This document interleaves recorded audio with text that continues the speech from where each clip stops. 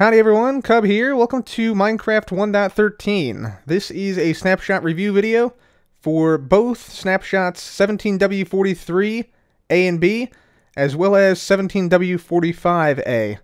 So let's go ahead and get right into it on the changes in this snapshot. So we're first going to start off with snapshot 17W43B and all the changes in that. First change is that when you create a new world, you will see that it now shows the percentage of the area created until it gets to 100%, where obviously it starts to build the terrain, and then you're in the world. This next change is a small one, which probably will only affect about one half of 1% of you. However, I do want to mention it because those people who are affected will see a dramatic change in the controls for the game, and that is because the game now detects and changes your default key bindings based upon what type of keyboard you have. So if I go into controls here, you'll see these are my controls for the WASD keyboard. These are just the default controls. But some people have an AZERTY keyboard, which is a different keyboard layout, and here are the control scheme for that.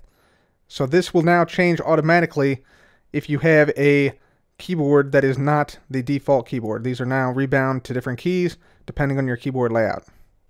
Also, in regards to the controls, the keys each have now been spelled out. Instead of having just L shift and L control, it now spells out left shift and left control left mouse button, middle button, instead of just M button and L button. The next change is in video settings, and we have ourselves now a FS resolution, which changes the resolution of your game, and the game actually temporarily stopped recording here, but here's the resolution once it finally started again. So, I'm not sure if this is actually going to work or not without cra- Oh, yep, it works!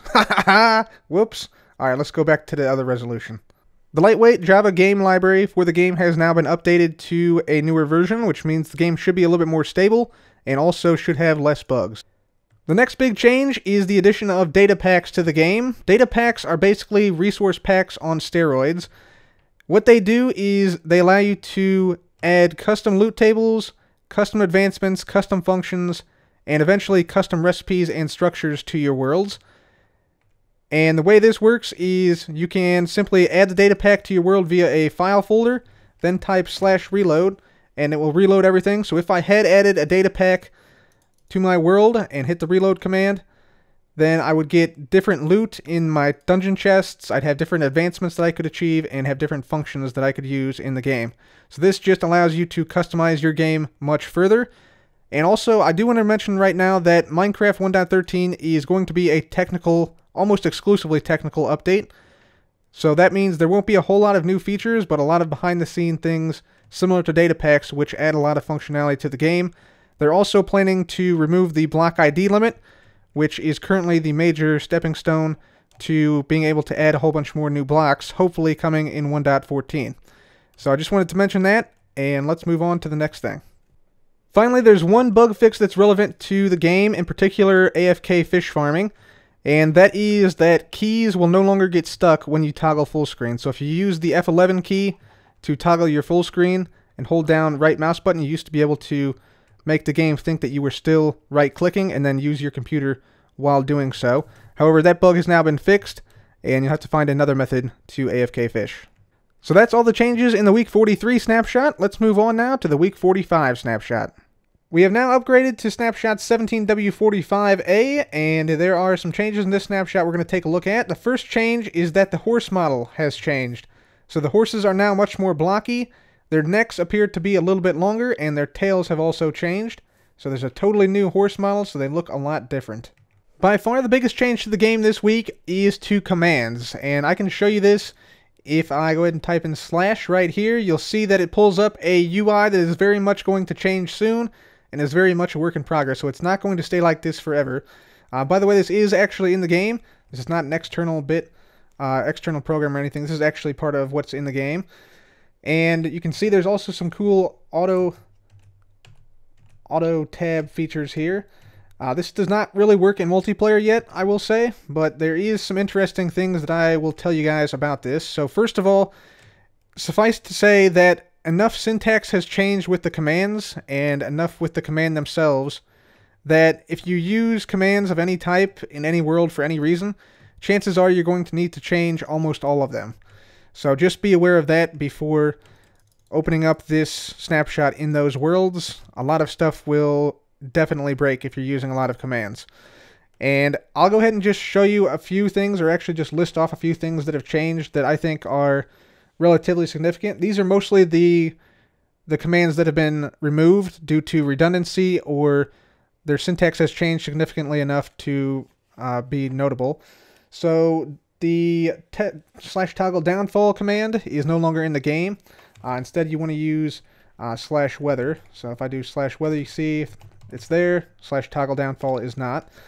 If you do slash game mode, so let me just go ahead and do slash game mode, and you try to type 2, let's say, for adventure mode, you'll see that you can no longer do that. You can no longer use game mode 2 or game mode A.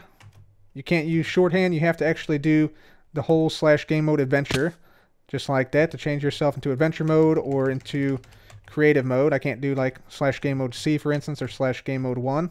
That is now gone. Has to be slash game mode creative. And you also have to specify a target, which I will specify myself. And there we go, back into creative. There's also a whole bunch of other commands that have been changed. For instance, slash test for, slash test block, slash stats are now all under slash execute. There's slash scoreboard. That has changed pretty dramatically. So slash scoreboard team is now just the simple slash team like that. So there is no slash scoreboard team. Uh, there is still slash scoreboard, but no no team tag. Same thing for slash scoreboard players tag. Uh, that's just slash tag now. So you can see exactly what you can do with that right there. There are also no more custom game modes. So it doesn't, uh, sorry, game rules rather. So you can't have any more custom game rules. It wasn't really that well supported anyway, so that is now gone. Other things that are gone, the slash advancement test is gone. The slash enchant is gone and is now under slash modify item. And there's also been a huge number of shorthand renames for commands.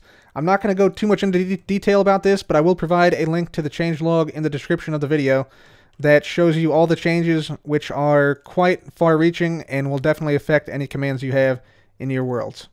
So that is it, guys, for Snapshot 17W45A, and I'm not quite sure about the horse model. Let me know what you guys think about it. The baby horse model, I think the necks are a little bit too long, perhaps. Just a little bit shorter would be better, I think, for the baby horses, at least. But that is it for me. Thank you guys so much for watching. This has been Cub. Goodbye.